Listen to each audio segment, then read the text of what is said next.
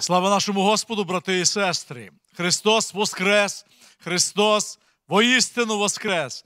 Вітаю, дорога церква, всіх братів і сестер, всіх, хто буде переглядати, хто в Україні і за межами її. Вітаю любов'ю Господа і Ісуса Христа. Коли сьогодні об'являли про те, що ввечері буде служіння з участю молоді, мені мої діти сказали, тату, вас записали до молоді. Дяка Богу! Дяка Богу, що перед Господом, знаєте, немає абсолютно ніякої різниці, скільки тобі років. Перед Господом важливо стан твоєї душі. І як сьогодні непросто, нелегко бути нам на карантині. Я сидів біля комп'ютера сьогодні вранці і в своєму серці так рішив. Хай собі буде карантин в неділю, я піду зранку на собрання. Будуть мене записувати на проповідь чи ні, а я піду до церкви. Ви знаєте, я так, знаєте, всередині був дуже так, аж аж просто мені не по собі. Як в неділю сидіти вдома? Як в неділю не бути на служінні? Екран екраном. Є живе спілкування. Ви знаєте, ну просто до сліз розбирається справа. Мене я не знаю, як вас. Мені вже цей карантин надоїв, так знаєте, чесно говорячи. Але з іншої сторони, знаєте, я думаю, що на небі карантину немає. На небі карантин не об'явили, туди нечисте нічого не війде. Не, ні, ніяка мерзота туди не війде. На небі карантину немає, там виходних немає, там відпустку немає. Господь завжди дивиться за своєю церквою. Слава нашому Господу! І там, на тому місці, де ти є, прослав Господа. Він достойний слави. Він воскрес із мертвих, щоб віруючи в нього, мали вічне життя. Не просто вірили в Воскресіння Господа Ісуса Христа, не просто хотіли йти до церкви, вони мають вічне життя в Ісусі Христі.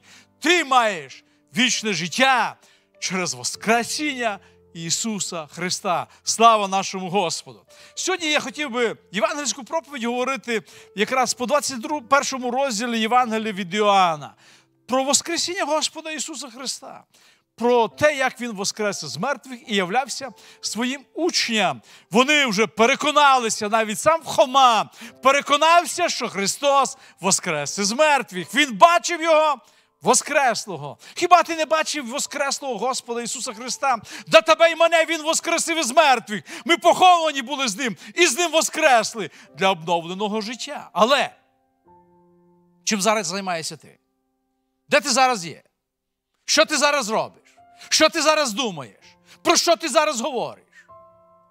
Тому що одночасно ти можеш дивитися на екран, можеш чи держати Біблію, чи бесідувати, чи писати ще смс-ку. Будь-що ти можеш зараз робити. Ти віруєш, Господа Ісуса Христа, що Він воскрес із мертвих, маєш вічне життя, але що ти робиш зараз? Чим ти зараз живеш? І я думаю, що дай собі відповідь. Дай собі відповідь. Ми займаємося різними справами, так і учні в той час, коли Христос після свого Воскресіння являвся, і Він явився на морі Тиверіадському. 21 розділ Євангелія від Іоанна з першого вірша. Після цього явився Ісус знову учням своїм на морі Тиверіадському. І явився отак. Були разом Симон Петро і Хома на призвисько Близнюк, та Нахванаїл із Кани Галилейської, та сини Заведеєві та інші два учні його. Ось говорить їм Симон Петро: піду ловити рибу. А вони йому відказали: підемо і ми з тобою.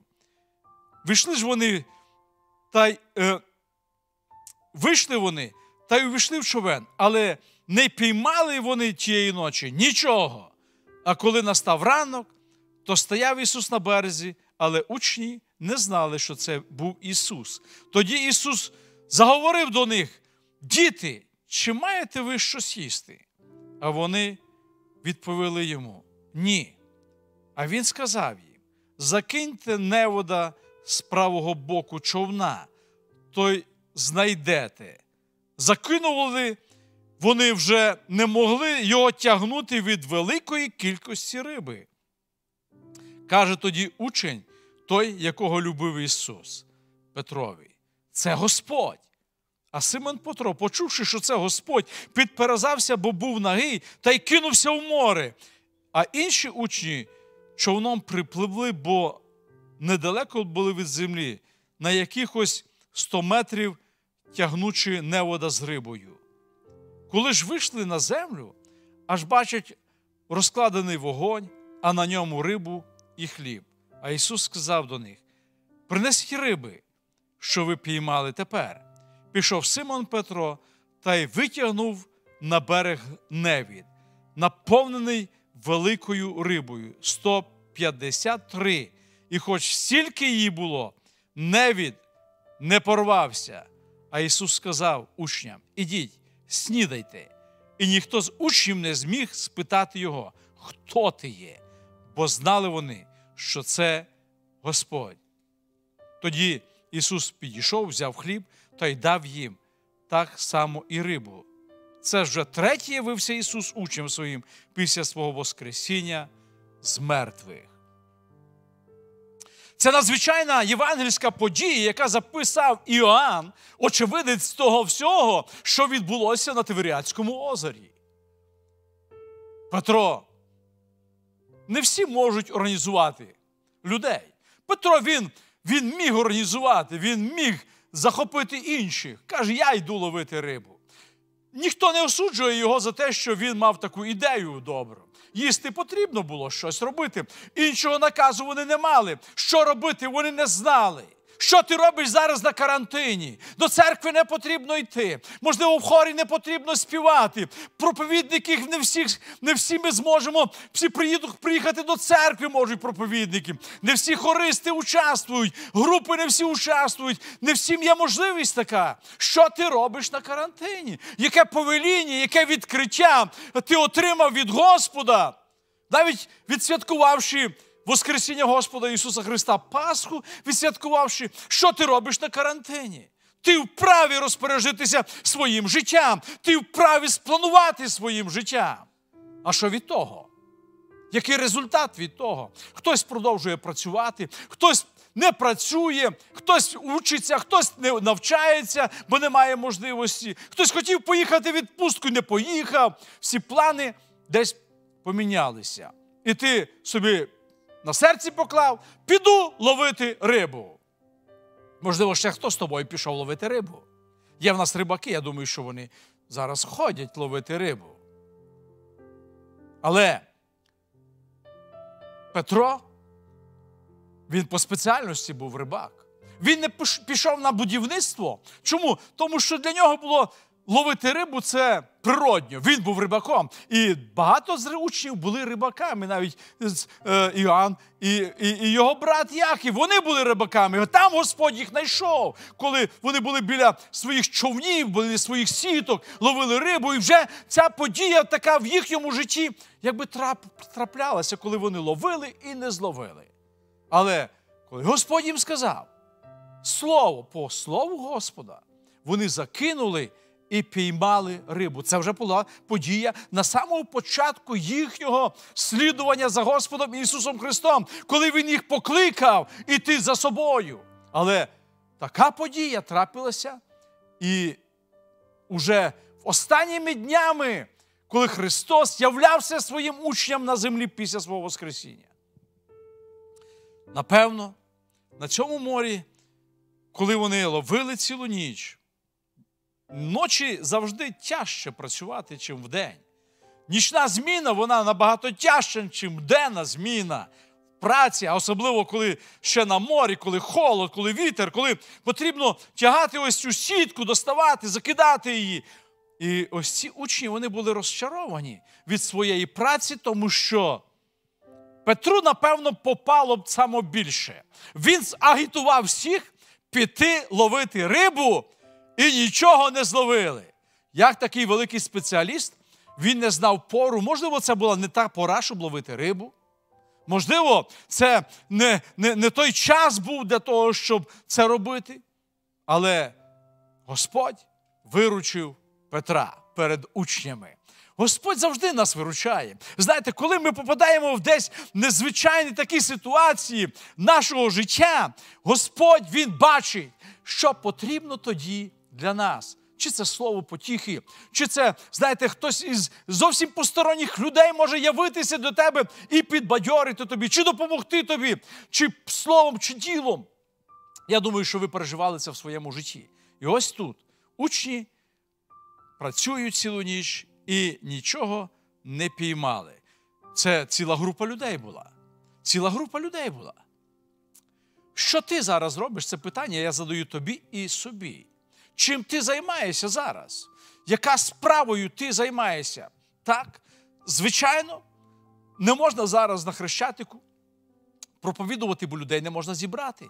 На стадіони ти не можеш зібрати, в церкву люди не ходять. Як як досягнути людей? Як ту справу, на яку ти тебе покликав Господь, робити? Як її робити? Не можу робити. Піду щось робити, те, що можу робити. Піду ловити рибу. Але Господь бачить серце. Господь знає, що потрібно для ось цих учнів, і як їм показати, що вони без нього не можуть робити нічого. Що б ти не робив би, навіть тоді, коли є обставини певні обмежують тебе, ти можеш робити і бути успішним тільки тоді, коли з тобою буде Господь, коли ти будеш послушний Його Слову, коли ти бачиш, будеш бачити Господа, коли ти будеш бачити Його, коли ти будеш покірний йому. І ця історія, ця подія, вона якраз про те, що учні вони зайнялися справою, але вона була безуспішна. Можливо, ти займаєшся справою, і вона не дуже успішною, тебе не виходить. Ти багато трудишся, багато прикладаєш зусиль і вже хотів би опустити руки свої. Знайди Господа. Поглядом подивися на берег, подивися, може тебе кличе хтось. І питає в тебе, чи в тебе щось є. Скажи, що немає. Правду скажи, в тебе немає нічого. Ти не можеш нічого, ти обмежений, ти людина є, тебе обмежують, і ти не можеш нічого зробити. Скажи це Господу. Немає. Не спіймали. На березі стоїть чоловік, який запитує: діти, чи маєте ви щось їсти?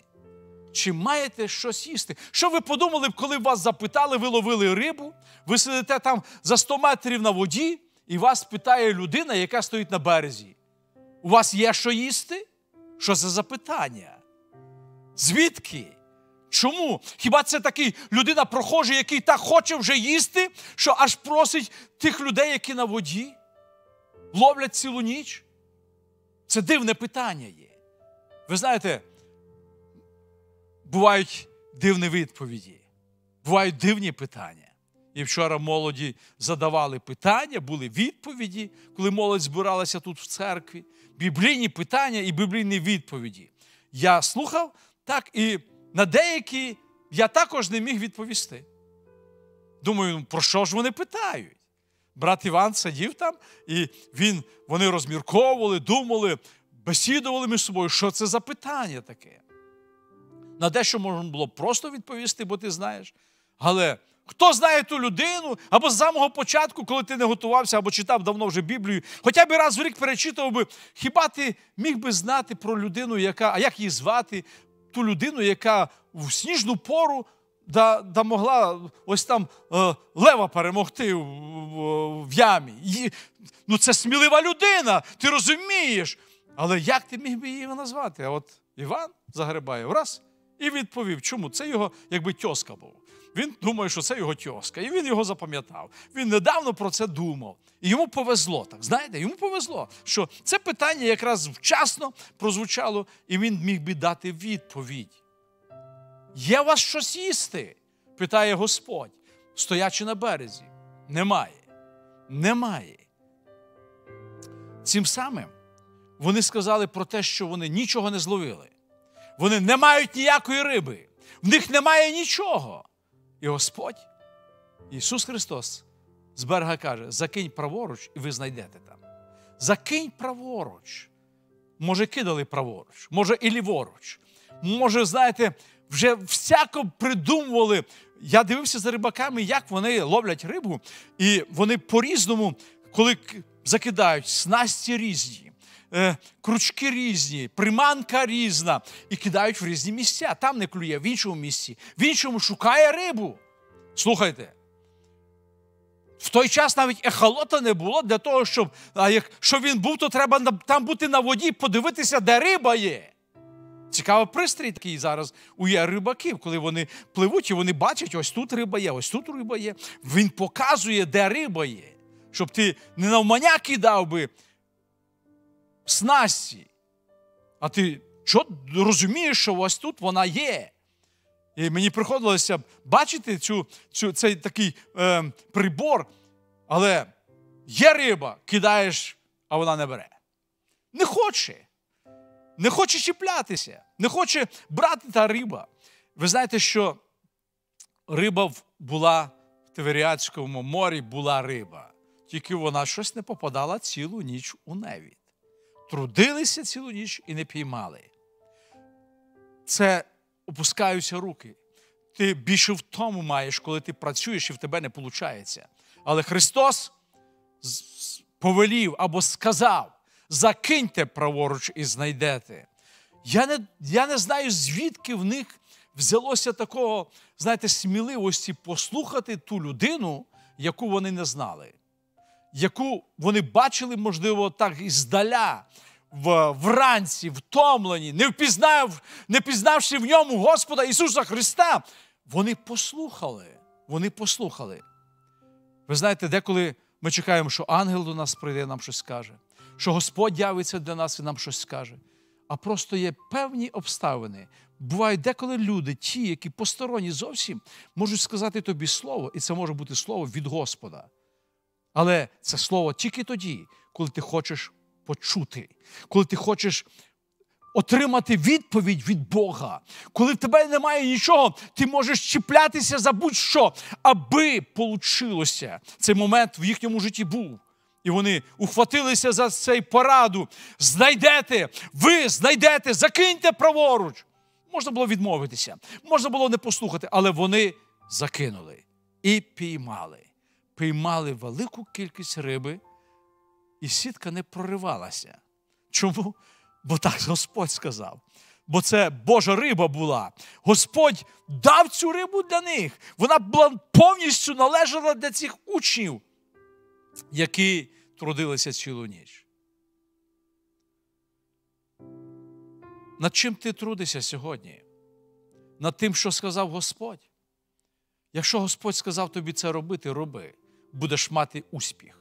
Навіть якщо ти зразу результату не бачиш, навіть якщо ти і до кінця не розумієш, як це має статися, якщо Господь тобі сказав це робити, роби, будеш мати успіх.